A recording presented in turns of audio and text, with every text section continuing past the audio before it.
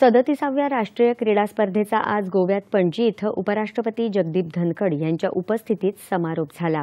भारताचं क्रीडा विश्व म्हणजेच बदलत्या भारताचं प्रतिबिंब असल्याचं मत यावेळी उपराष्ट्रपतींनी व्यक्त केलं. या स्पर्धांमध्ये महिलांचा मोठ्या प्रमाणात सहभाग असल्याचं सांगत महिलांनी उत्तुंग कामगिरी करून दाखवल्याबद्दल धनखड यांनी नारीशक्तीचं अभिनंदन केलं. आज वितरित केलेल्या पारितोषिकांमध्ये स्त्रियांचा वाटा दोन तृतीयांश इतका असल्याबद्दल त्यांनी समाधान व्यक्त केलं. आज भारताचं यश बघून जग चकित झालं असल्याचा गौरवपूर्ण उल्लेख करत उपराष्ट्रपतींनी नवभारतात प्रत्येक भारतीयाला आपली प्रतिभा दाखवण्याची संधी मिळत असल्याचं सांगितलं.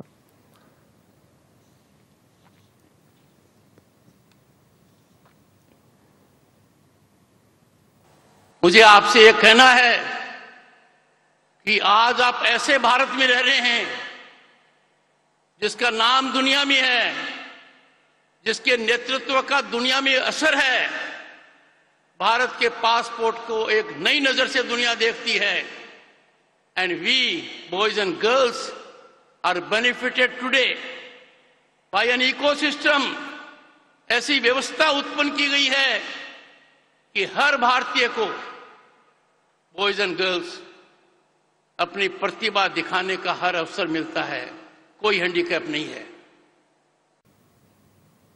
या संपूर्ण स्पर्धेत पदक तालिकेत महाराष्ट्र सर्वोच्च स्थानावर झळकत होता. पंचाहत्तर सुवर्ण सदुसष्ट रौप्य आणि अठ्याहत्तर कांस्य पदकांसह महाराष्ट्राला एकूण दोनशे वीस पदकं मिळाली. यानंतर अडतीसावी राष्ट्रीय क्रीडा स्पर्धा उत्तराखंडमध्ये आयोजित केली जाणार आहे.